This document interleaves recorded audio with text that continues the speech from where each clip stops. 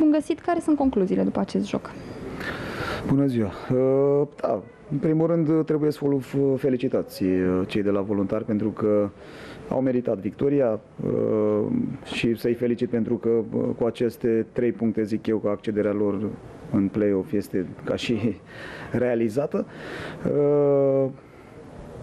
Despre noi, trei goluri primite pe trei greșeli trei greșeli de poziționare, trei greșeli de marcaj, trei greșeli de adică reacție, pe lipsă de reacție, mai ales dacă le luăm așa pe fiecare în parte. Acum nu caut neapărat vinovați, pentru că până la urmă toată echipa este vinovată și uh, trebuie să, la, la înfrângere suntem cu toții vinovați, inclusiv eu.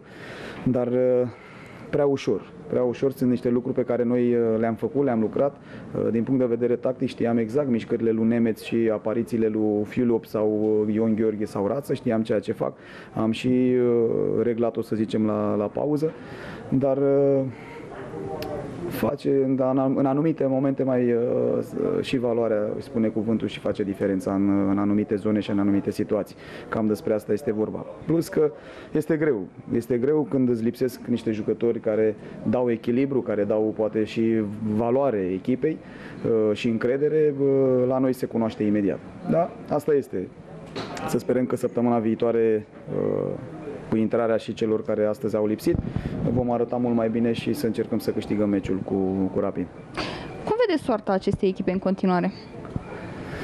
Da, grea, grea. Să sperăm că cumva, nu știu, cum într-un fel se vor rezolva problemele. Datoria mea este să, atât cât pot și cât ține de mine să fac uh, ca echipa să, să joace, să, să, să se prezinte onorabil la, la fiecare meci și de ce nu să, să câștigăm puncte, să luăm puncte.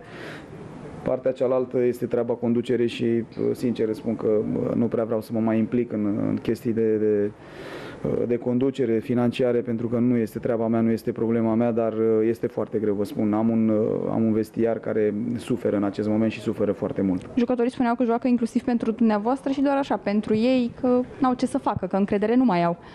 Da, eu le mulțumesc și știu, mi-au mai spus-o că am fost alături de ei și că am făcut multe lucruri pentru ei în această perioadă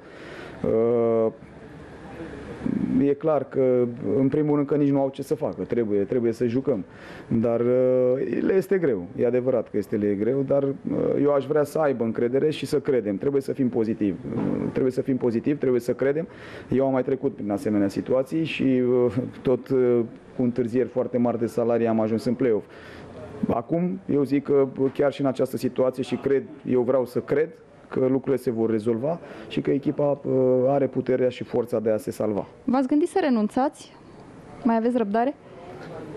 Da, nu știu câte răbdare mai am, dar uh, atâta timp cât uh, grupul este alături de mine, echipa este alături de mine, eu nu pot să plec și nu pot să las grupul.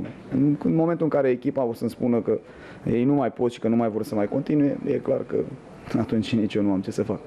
Mulțumesc! Și eu.